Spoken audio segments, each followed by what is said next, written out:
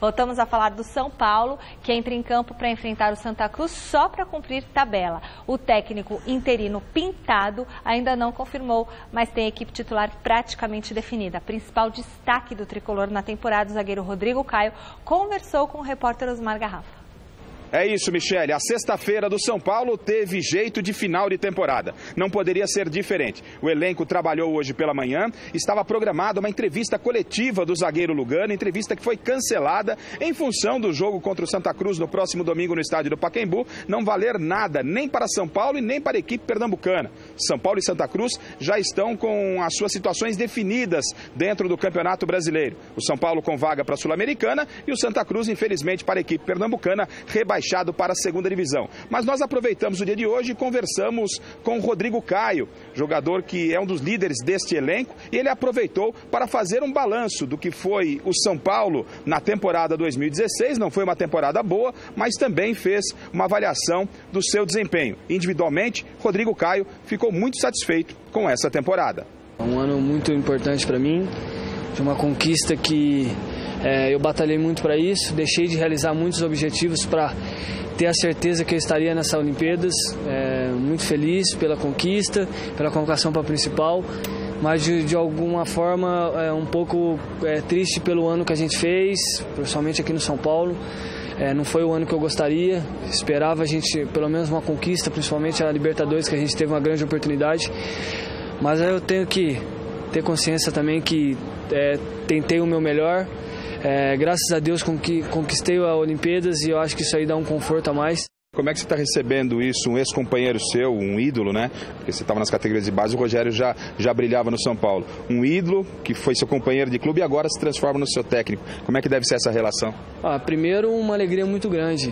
É um cara que eu aprendi muito dentro de campo, como jogador e agora como treinador, eu acredito que vai ser, vai ser uma experiência muito bacana. Ele vai poder nos ajudar como jogador, como atleta que foi, conhecendo a parte de lá, né? Eu acho que isso é muito importante. Então a gente fica na expectativa, a gente deseja muita sorte para ele e espera que nós jogadores possamos é, fazer um bom trabalho e ajudá-lo a a fazer uma, uma carreira como treinador vitoriosa como foi a de jogador.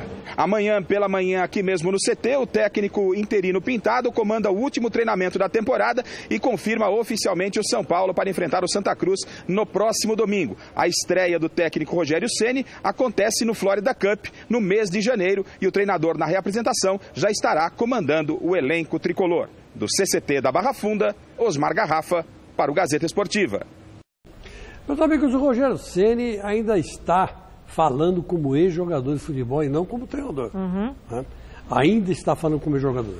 É, na apresentação, é, eu estava assistindo a apresentação, curti aqui na Gazeta Esportiva, e ele disse o seguinte, que não, eu não, não me vejo dirigindo Corinthians, Os rivais. Palmeiras ou qualquer outro time, um rival, Santos, eu só me vejo dirigindo São Paulo. Por quê? Porque ele se acha ainda um ex-jogador e não um treinador. É um conceito, meu amigo Rogério, que você vai ter que rever. Que treinador é treinador, jogador é jogador. E ele está pensando ainda como jogador e não treinador. Então isso aí com certeza vai ter consequências no próprio trabalho dele. Né? Evidente que sim. Porque o treinador é um cara específico, profissional, que vai lá para escalar um time e conseguir ótimos resultados, o mais, o maior número de bons resultados possíveis. Quer dizer, independentemente de, que ele torça para aquele ou para esse. Né? Então, enfim, é uma coisa que, que é nada profissional que o Rogério fez. Mas, enfim, é, a gente entende que é noviciado, é começo, é novidade, mas eu já dei uma desanimada. Ah, até porque ele vai dirigir só o São Paulo? Não vai dirigir mais nenhum time? Ou vai ter que dirigir times menores, né? Cara, e se ele, amanhã depois ele sai de São Paulo e vai, vamos, vamos supor, Sim, vai, vai para o Barcelona, o que, que ele vai falar? Ah, eu mudei de ideia. Quer dizer, falou bobagem, né? É. Falou não, como é jogador. Referia, ele se referia a Palmeiras, Corinthians e Santos. Tá, Isso e aí significa vai... que ele não possa dirigir um Grêmio internacional, um Atlético Mineiro. Mas isso é dedução sua, né? Sim, é. Flamengo. Não, é que Bom, na pergunta falava sobre não, mas rivais. ele não tem que falar isso, ele tem que dizer não. não eu, eu, sou profissional. Profissional, profissional.